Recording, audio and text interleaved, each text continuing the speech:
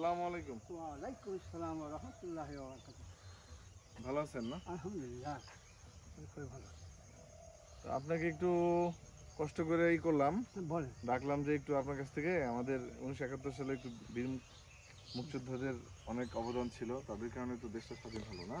হ্যাঁ তো ওই সময়ে আপনার কিছু গল্প যদি বলতেন আমাকে। ওই স্যার আমি তো আমার বাসা বাসা ছিল হ্যাঁ। বাসা থেকে যখন বইমার খুব ওখানে আমাদের কাছেই যে বৃত্তি যারা আসছে হ্যাঁ। গোলাগুলি হচ্ছে থানাতলি করে। এক সালি করে এখন আমরা কী করব? তখন ওই যে ঠাকুর দোকান ছিল মারা গেছিল নিয়ে যায় গুজরাটে মারা গেছে। তখন আমি ওখান থেকে আউট হলাম একটা চলে গেলাম ভারতে। আচ্ছা। ভারতে আউট হওয়ার পর ওইখানে ঘর উঠায় ওই যে ছেলেগুলোর সাথে ঘরগুলো আমি থাকি। থাকার পর এইভাবে থাকতে থাকতে থাকতে থাকতে এক মাস চলে গেল। হঠাৎ আমাদের বোম্বা স্যার রুহিয়া থেকে মার চেয়ারম্যান ছিল উনি মারা গেল উনি চলে আসলো আমার বাড়িতে। আসলে এইখানে গেল ওই হইবর ফজলু ফজলুর দায়িত্ব ছিল দুদিকে ফজলু হইবর আমি আর একজন মাস্টার। আমাকে ধরে রেখে গেল কবে আপনি এখানে আসেন এখানে কী করছেন? বলে আমি এখানে থাকি ওই যে ভাত টাত পাক করি খাই এখানে থাকি। ঠিক আছে ওখান থেকে আমি একটু আর কি বলছি না হাত ছাড়া হবে না ভাত পাক করে তোমার জীবনটা যাবে ধ্বংস হয়ে যাবে। আমার সাথে চলো।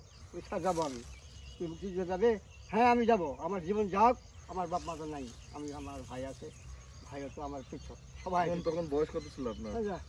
আমি মেট্রিক পরীক্ষার জন্য সেন্টার ইয়া দিছি মানে রেজিস্ট্রেশন করছেন হ্যাঁ নাম রেজিস্টার করছি।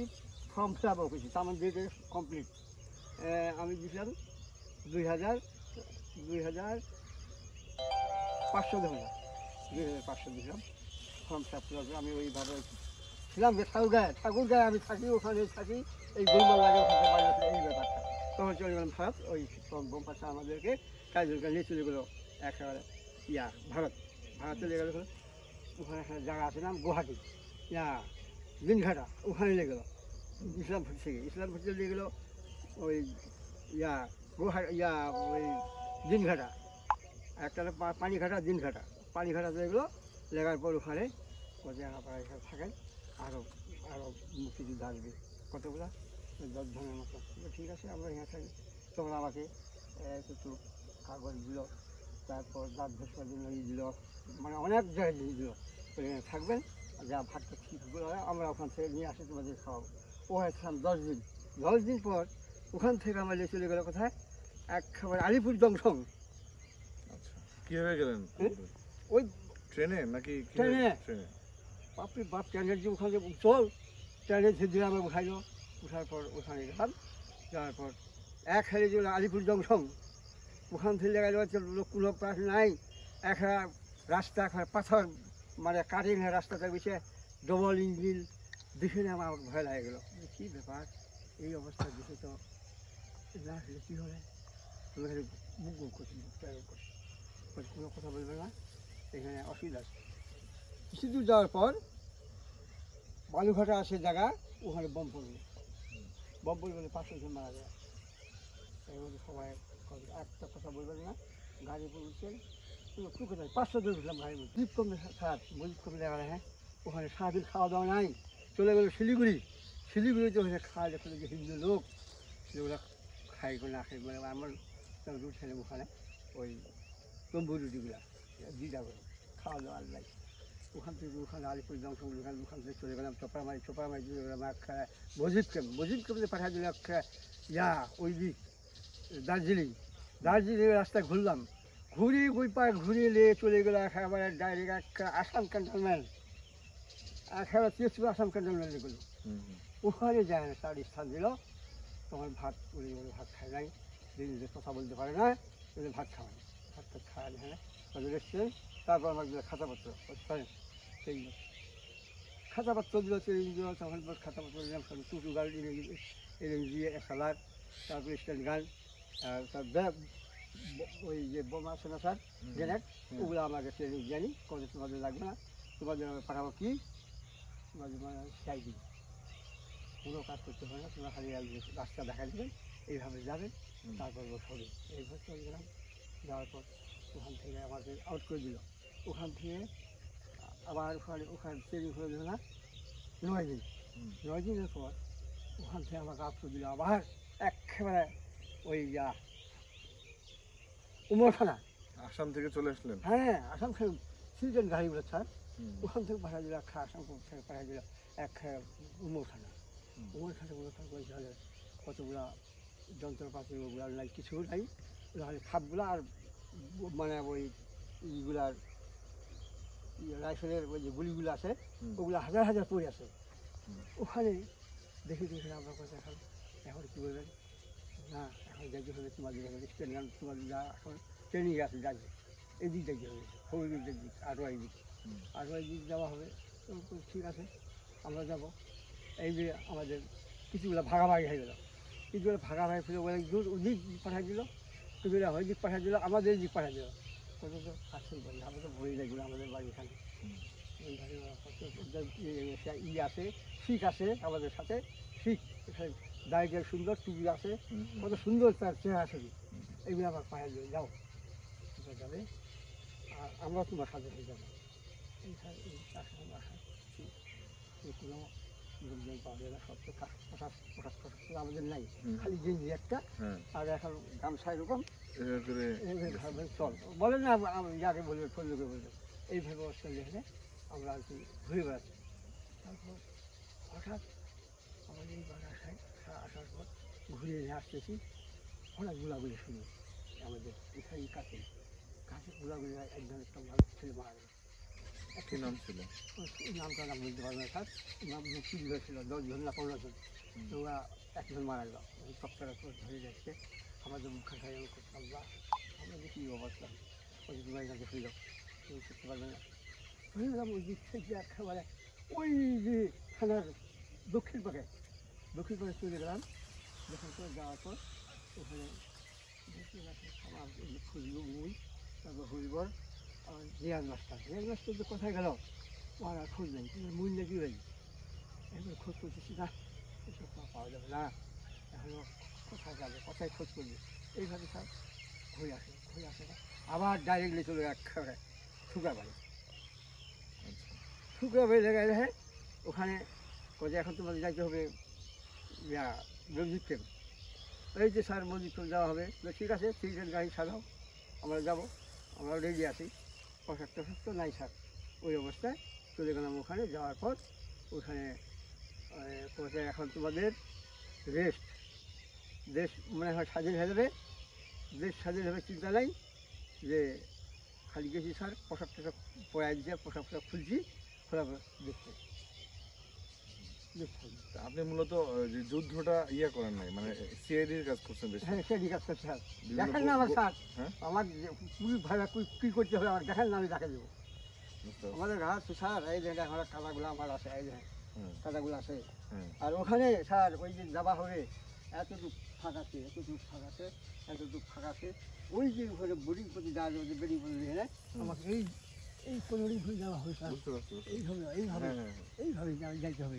তখন তাহলে যে লাগবে রে তো তুমি তো দাঁড়িয়ে থাকবে তোমার তোমার আর ট্রেন হবে না হ্যাঁ হ্যাঁ এইভাবে গেলাম যাওয়ার পর ফাঁকে গেলাম স্যার যাওয়ার পর নিজের সাথে আপনি এমনি তাহলে মোটামুটি যুদ্ধ করছেন তাহলে এই বিভিন্ন জায়গায় জায়গায় বিভিন্ন জায়গায় ঘুরছি স্যার।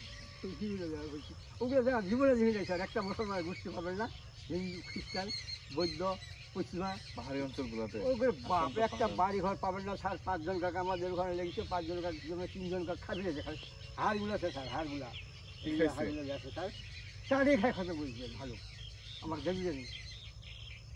যেতেই জানি। আর ওগুলো যে ভুটিয়া স্যার নেমে একটা বড়ি কিনছে আর একটা করে প্যান্ট আর একটা করে ধুতি এই একটা দিলি হয়ে গেছে কোনো কোনো কথা টু কথা কোনো বলতে পারবেন না যদি কোনো কথা বলবেন তোমার কাল্লা কাটবে। আমাদের বলবার কথা বলবে আমি বলব কেন?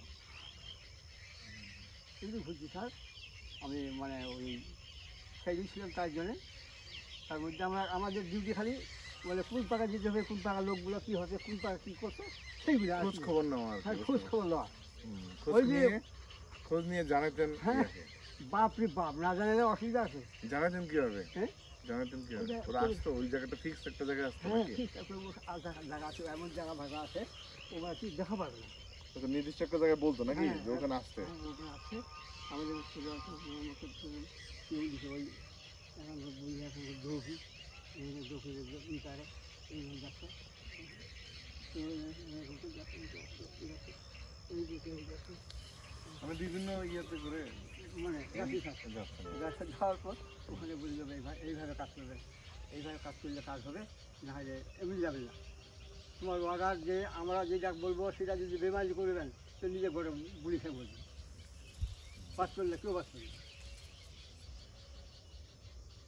আচ্ছা তিনি কিছু এক মাস আমাদের আটারে আপনার সাথে কে কে ছিল? আমাদের আঠারো মেলা ছাড় ওগুলো কম এখন চারশো চোদ্দ ষোলো পঞ্চাশ বছর হয়ে গেল। এইখানে আমাদের আছে ফজলু। হরিবর তারপর রিয়াজ মাস্টার মারাইছে আচ্ছা। তারপর এই দিকটা এই দিক- ছিল। এগুলো ছাড়া আমাদের এখানে ছিল না। আলাদা ছিল ওগুলো আলাদা ছিল। ওদের সাথে আমাদের কোনো নেই ছিল না। কারণ আমরা তো উন্নত চাইছে এই যুদ্ধকালীন সময় কি আপনি আটার থানাতে কখন আসছিলেন? একবার আসছিল স্যার। আসছিলেন? একবার আসতে আসে না দেখাশোনা করে নেয় আবার চলে গেছি। ওই সময় বিল্ডিং ছিল কয়টা? ওখানে ওখানে বিল্ডিং ছিল কোনো? আসিস না উপাসনা অনেক ছিল।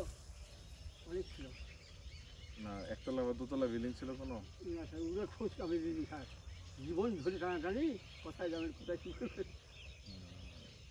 অস্ত্র তাহলে আপনি অস্ত্র আমরা তো ম্যাক্সিমাম বীর ধরে হচ্ছে আপনার অস্ত্র ইউজ করছেন তাই না? অ্যাম্বুশ করেছেন রাত্রিবেলা আর করছেন। যেটা দিবেন আমি ইনশাল্লাহ।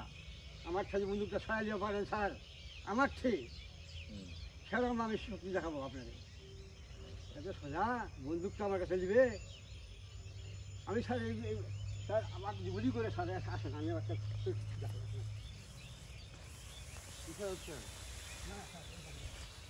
এই গায়ে ময়লা লাগো। স্যার গুলি করে থাকে আমি তো আমি তো আসলে আমি বেশি করে আমার গুলি করছে আমি এই অবস্থা আছে না? এই অবস্থা পড়ে যাব স্যার। এইভাবে অবস্থায় পড়ে যাব। হ্যাঁ। এইভাবে পড়ে আছে আমার আমার আমার যে পেশেন্ট যেগুলো আছে ওইগুলো মানে না দিলি হ্যাঁ। ওইগুলো মানেই না মারা যায় না। ওই কদিন ধান বাড়ি দিকে আছে স্যার ওই দিক বাইরে আচ্ছা। এইভাবে বুঝলাম। তারপর ওই যে করি স্যার।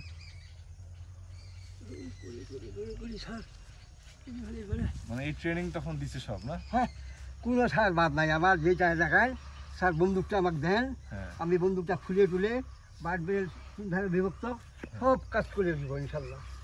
ভয় আমার কি আছে? স্যার আমি বেহালালি জিনিসটা মিথ্যা কথা আমার কাছে পাবেন না স্যার। আমি মিথ্যা ধাবে আমি আমি সৎ আমি আমি মানুষের চারটে পয়সা মারি খাব না সরকারের মারি খাব না যা আমার দিয়ে সেই খাব। সরকার তো ভাতা দিত একশো এখন ভাতা কত পান? বিশ হাজার টাকা। এক সময় পাইতেন কত? তিনশো হইতে আগে আগে স্যার। তাহলে তো আপনার বয়স এখন হ্যাঁ চুয়াত্তর বছর। চুয়াত্তর বছর না? হুম পয়লা। আগে তো আসলে এই- মুক্তিযুদ্ধের ম্যাক্সিমাম একটা গামছা আর একটা লুঙ্গি ছিল তাই না? হ্যাঁ। আমার গামছা এখন আছে স্যার। গামছা রাখি দিয়েছি আমরা গামছা রাখি আমি। আপনার ছেলে মেয়ে হচ্ছে? ওই একটা ছেলে তিন মেয়ে। কিনি ওই ছেলে আর মুরগি ব্যবসা করে মুরগি কিনে দিয়ে দেয় ইয়ে করে খাই স্যার আপনার এই যে মূলত কত আপনার তো মনে আছে কি যে কবে আপনি প্রথম গেলেন যুদ্ধে সাতই মাসে ভাষণ তো শুনছেন হ্যাঁ